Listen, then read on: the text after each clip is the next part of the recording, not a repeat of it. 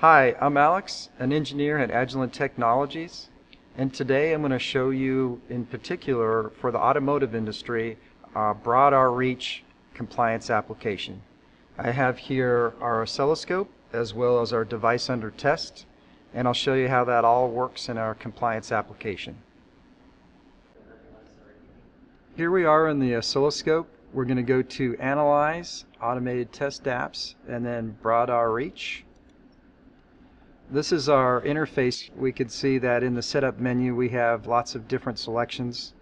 We'll go to selected tests and that has a variety of different test modes that BroadR-Reach uses to test for compliance.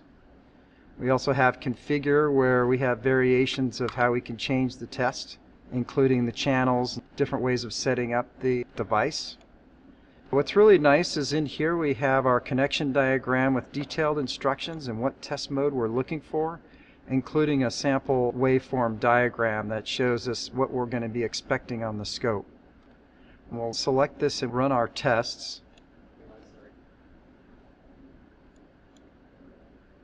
And we're doing the droop test now, so we're measuring the amount of droop on each side of the differential signal.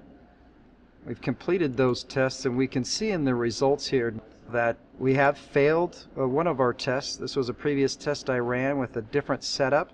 But you can see we also have many other trials here that have passed. This is actually a very good test for regression testing.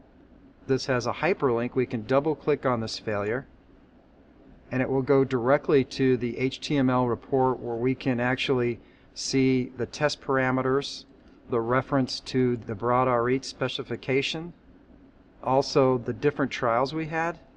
One of the great features of this application is it shows us the waveform.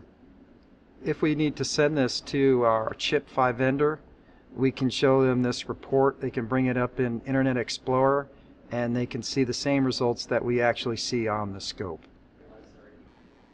As you've seen this demo for our BroadR-Reach compliance application, Couple things to keep in mind is it has a great user interface. You don't need to be an expert on BroadR-Reach. It's fully compliant to the BroadR-Reach specification. It incorporates other great Agilent hardware, including our AWG and Spec Analyzer. And for more information, look at the screen for the URL, and thanks for watching our video.